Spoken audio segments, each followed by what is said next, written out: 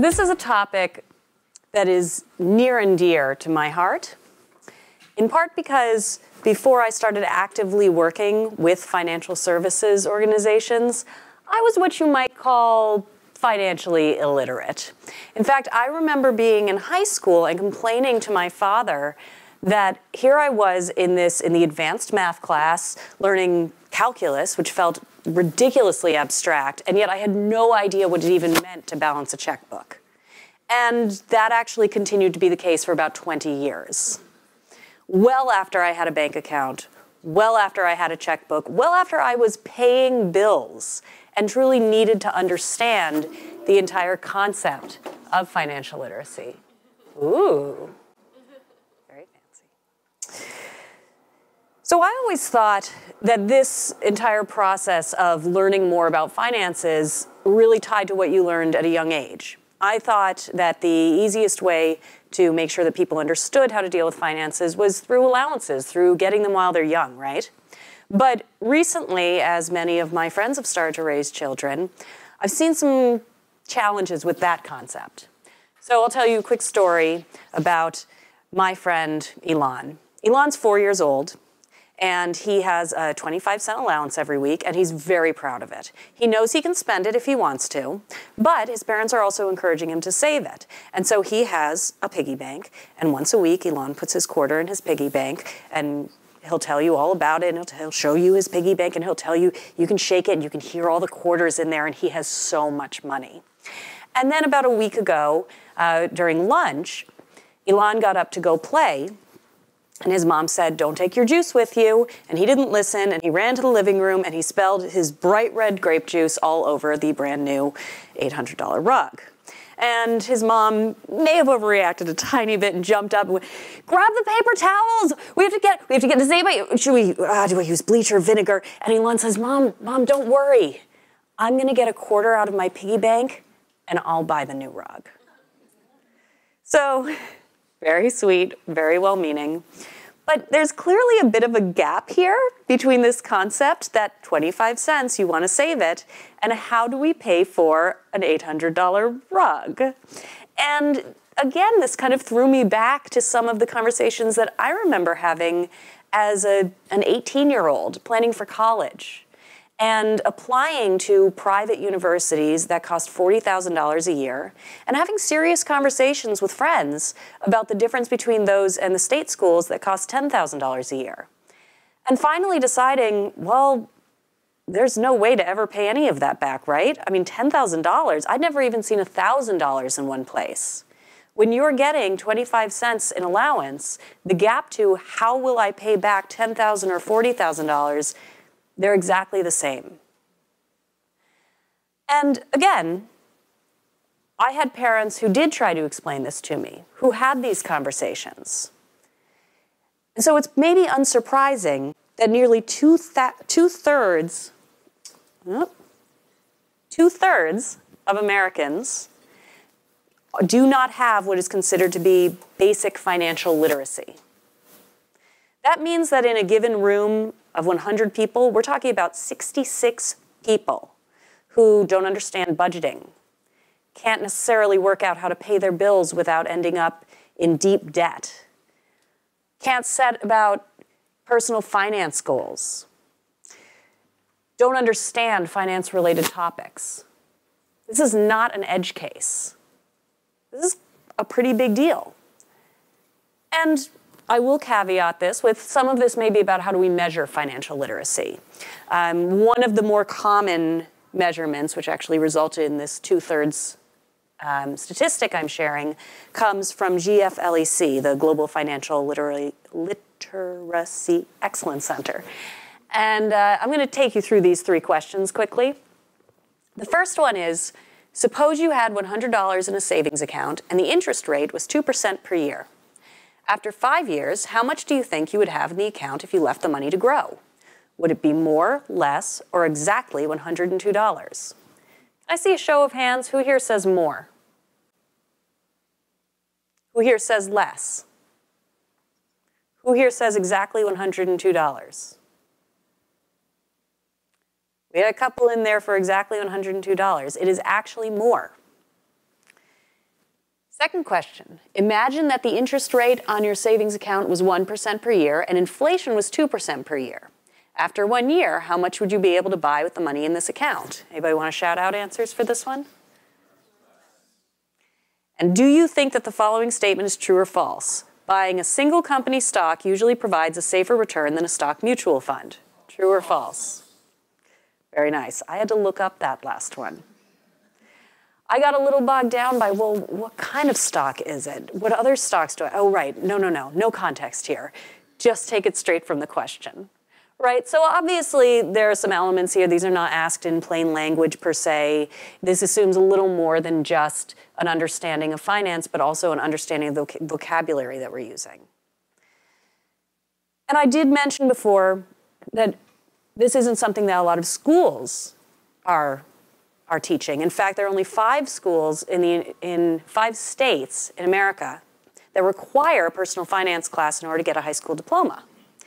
You might think that that's great news, right? Okay, we're rolling it out. It's in five states, soon it will be all across the country. But it's actually not part of a dedicated rollout program. The five states just happen to be Alabama, Missouri, Tennessee, Utah, and Virginia. It's just coincidence. This is not something that we have a dedicated plan in place for. So before I go any farther, I will define what we mean by financial literacy, which, by the way, is another problem. There are myriad definitions for financial literacy across the internet. One that I thought really clarified where it's most valuable was this one, which was created by the President's Advisory Council on Financial Literacy in 2008. This definition is that financial literacy is the ability to use knowledge and skills to manage financial resources effectively for a lifetime of financial well being. Okay, this implies that we have enough of an understanding to put aside money, to pay for the things that we need, to retire well, to care for our families. That seems great. But even with this definition, that I think covers what is needed well, I have a couple of concerns. For example, referring to knowledge means that a lot of people are going to read this and think, okay, so it's correlated to how intelligent you are. Skills, okay, so how capable are you? In reality, financial literacy is much about the opportunities that you have and the resources available to you as it is about what you know and how capable you are. Let's take, for example, millennials. Now, full disclosure, I am a millennial. The millennial age range is typically counted as 1983 to 2000. That means that our youngest millennials are 18 years old and our oldest millennials are in their mid 30s. So we talk about millennials often as though they're teenagers. But in reality, most millennials are in the workforce now. They're not frivolous. They're not unaware. But more of them are living with their parents than any previous generation.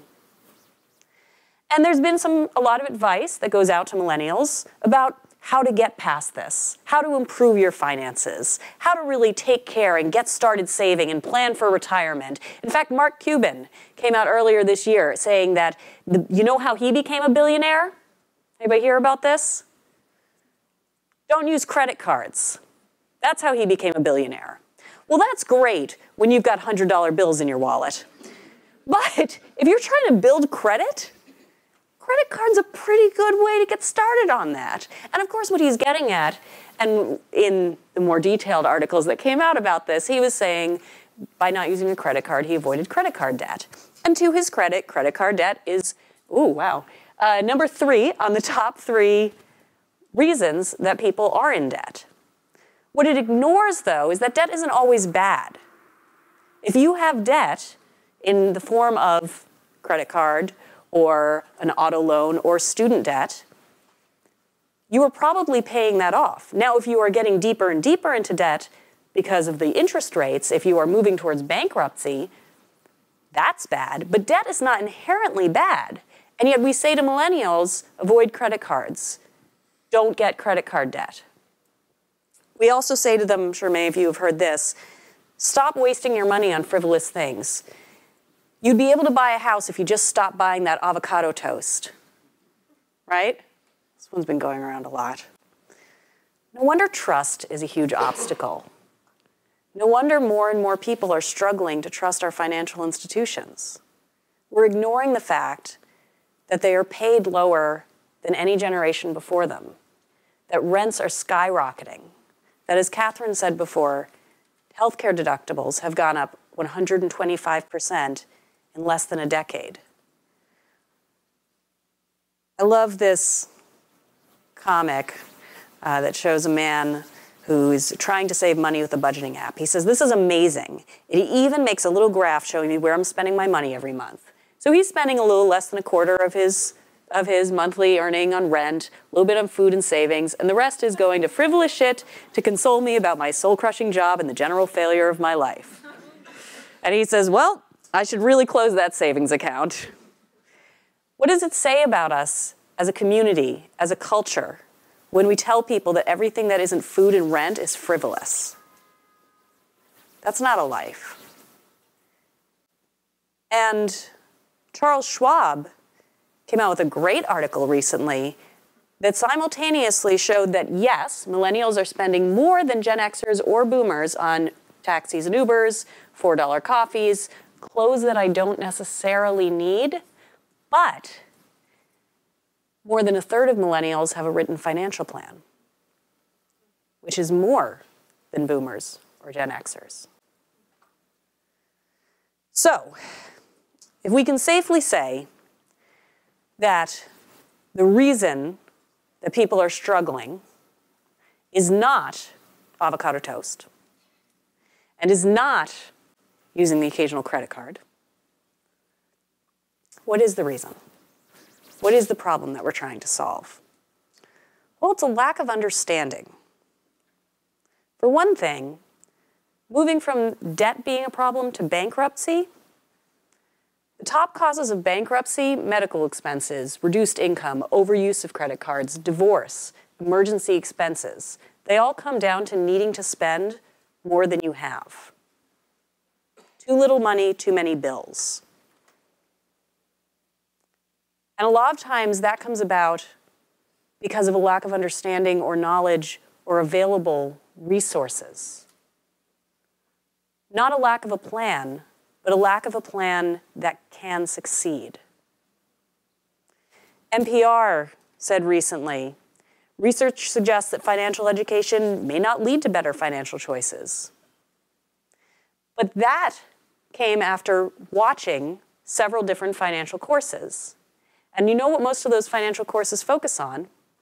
Compound interest. How to set up your retirement account.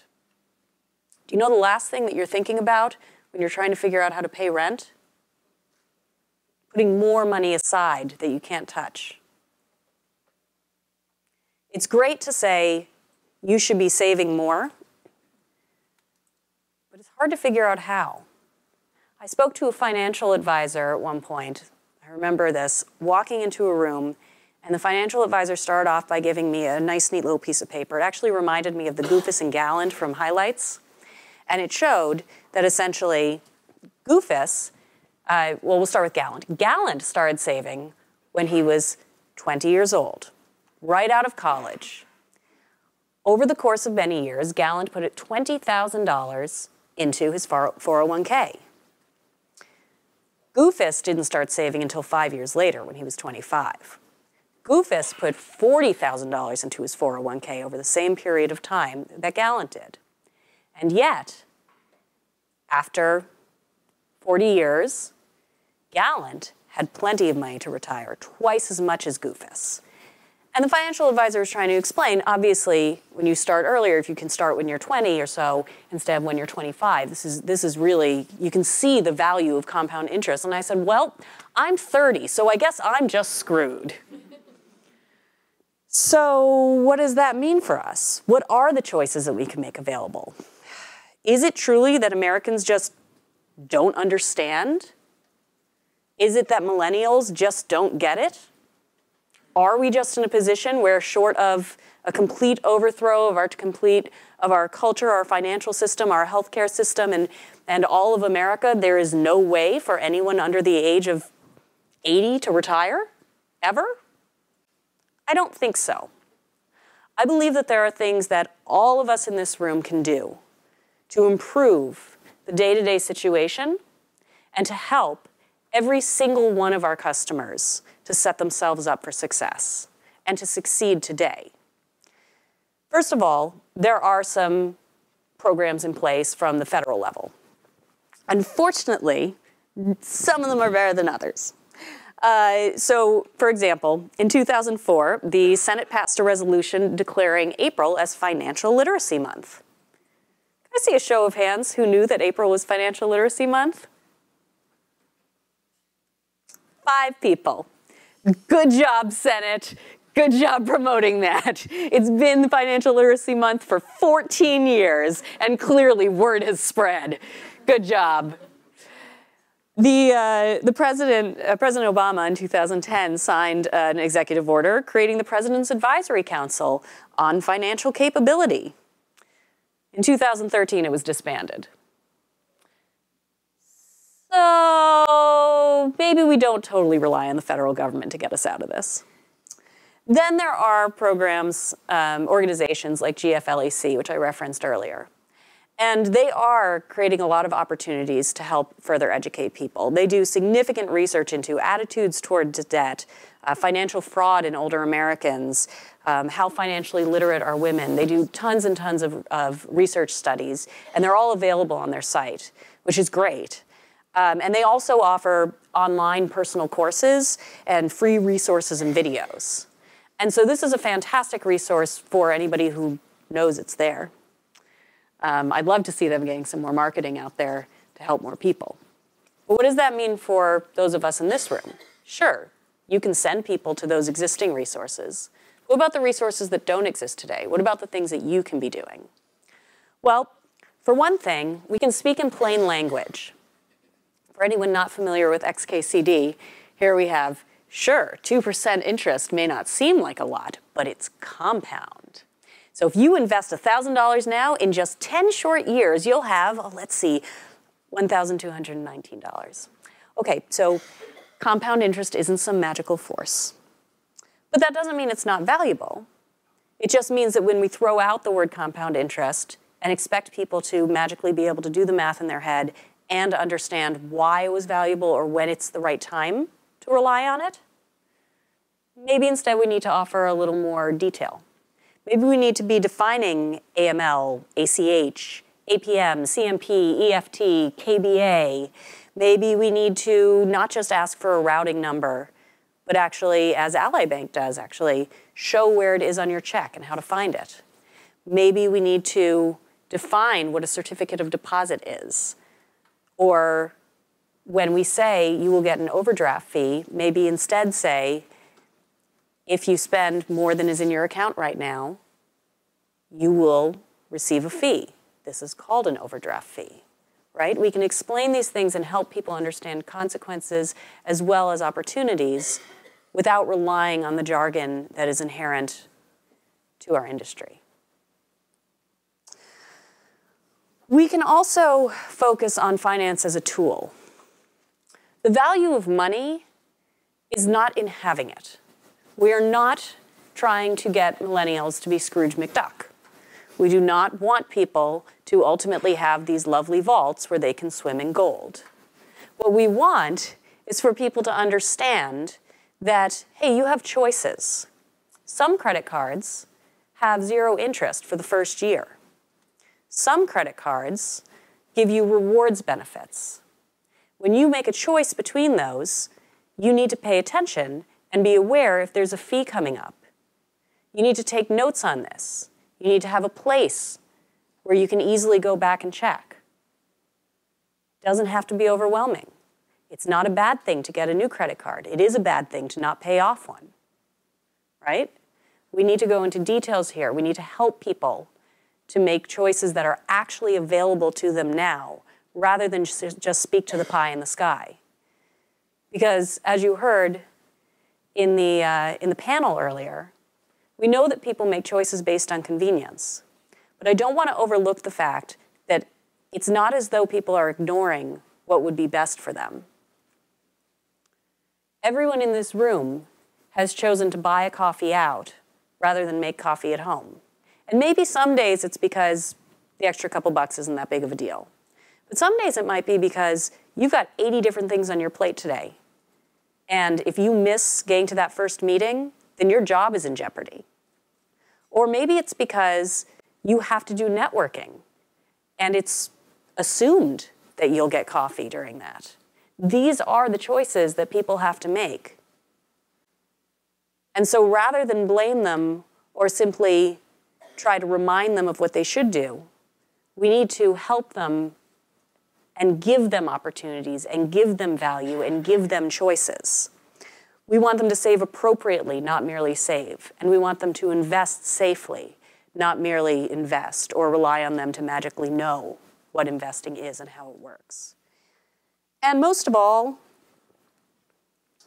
we need to design the conversation.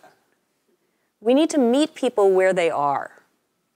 It is up to us, the designers in this room, the financial planners in this room, the financial wellness people in this room, it is up to all of us to understand our customers, to give them the benefit of the doubt, to recognize their goals as valid and their barriers as real. And it is up to us to rely on financial literacy as something that we need to improve, not something that they can magically have. We need to do this so that the four year old can become a 14 year old who understands how quarters can become $1,000. And the 14 year old can become an 18 year old who understands the value of a $40,000 uh, versus a $10,000 investment. And so that the 18 year old can become a 35 year old who can do their own budgeting. And the 35 year old can become a 65 year old who can maybe not have exactly the savings and exactly the retirement that we would dream of for everyone, but will know that their financial institutions are there to help them and to continue to be, with the, to be there with them throughout every step of their life. Thank you very much.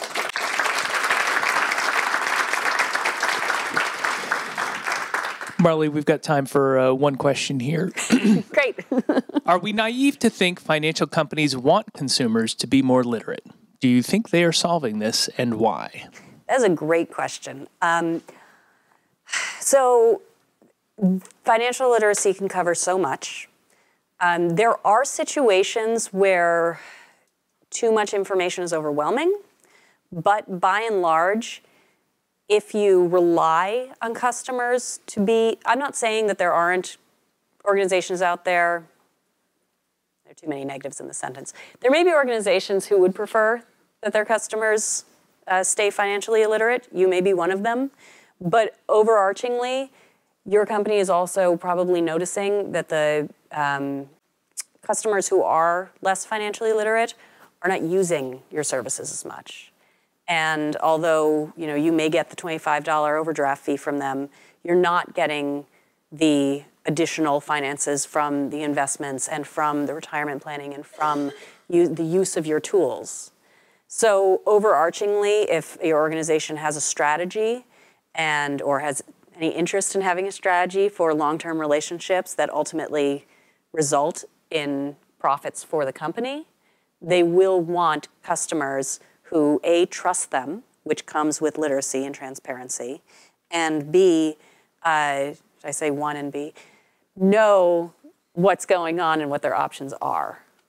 So I'm happy to talk about that uh, more later. The reason I say it's complex is that then there's the whole financial security and there's all, it's all kinds of stuff. So um, it's a great in-depth topic, whoever, whoever asked that. That's a great Thank you, Marli. Thank you, guys.